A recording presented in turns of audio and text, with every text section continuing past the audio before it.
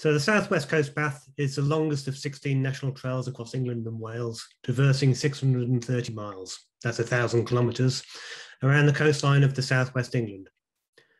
Our national trails are world-class long-distance paths helping people access, experience and enjoy our finest landscapes. The designation of a national network of long-distance paths followed the establishment of the National Health Service in 1948 and was intended to contribute to the nation's well-being post-war as a natural health service. So 70 years on, we're seeing recognition of the importance of trails in delivering access, environment, tourism, and health and well-being benefits for the public good.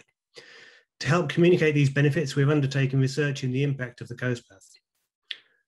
From a visitor economy perspective, our latest research shows almost 9 million people using the Coast Path a year, generating over 520 million pounds for the local economy and supporting around 11,000 jobs.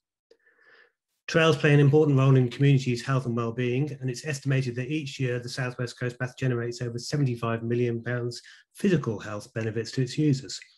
And we're now looking at how we can calculate a value for the mental well-being benefits of walking the trail, and initial estimates show this to be even higher. So, so we have a trail impacting on a large number of people, communities and businesses, generating hundreds of millions in public benefits, which dwarf the public grant of about half a million received to maintain and, and enhance the trail each year. In the Southwest, we're lucky as we have a charity and wider trail partnership to generate extra funding to support the trail.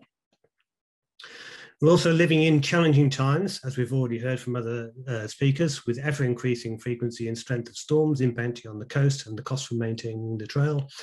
And also climate change is impacting on the biodiversity of trails. And this is raising the management cost to maintain our national trail quality standards. And then last year, as we've already heard from several of the other speakers, the pandemic hit us.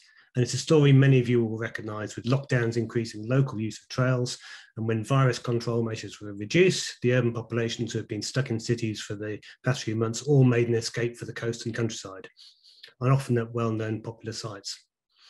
With so many services closed, this caused significant impact at specific sites. However, there still were many parts of the trail which were more remote and didn't have the same experience.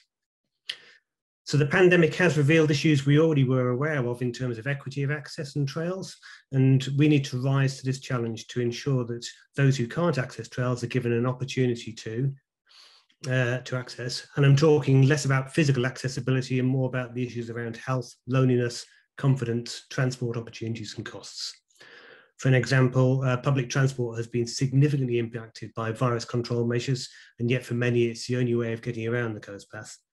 Amit discussed active travel earlier, and the UK government is investing 2 billion in active travel. My call to government is that our extensive network of trails and public rights of way need to be part of the solution to help reduce our travel footprint and improve health and well-being.